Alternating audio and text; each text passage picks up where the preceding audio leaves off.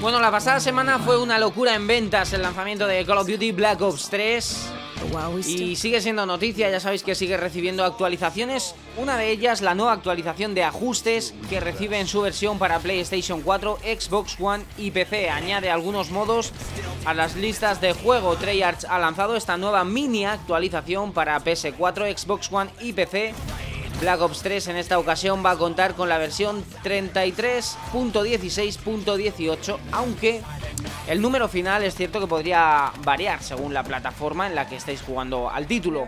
El listado de las novedades se ha añadido capturar la bandera en el modo arena, se ha añadido dominio y muerte confirmada a la lista de juego hardcore, se ha corregido un glitch con el temporizador del modo enlace Uplink y se ha corregido también ciertos problemas de spawn que tenía el título y que todavía según muchos usuarios sigue teniendo. Pero bueno, poco a poco con nuevas actualizaciones se va mejorando la experiencia de esta tercera entrega de Call of Duty.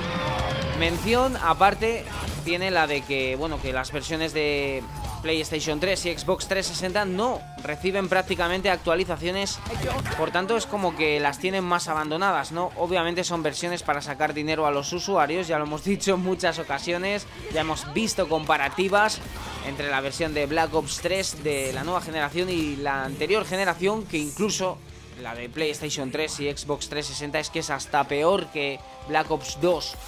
Impresionante, desde luego, que se pueda llegar a tratar así a un título, pero ya habéis visto, ¿no?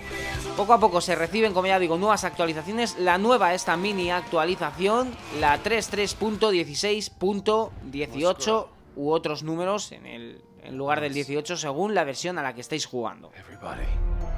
By 2075, humanity's numbers had been reduced to a few hundred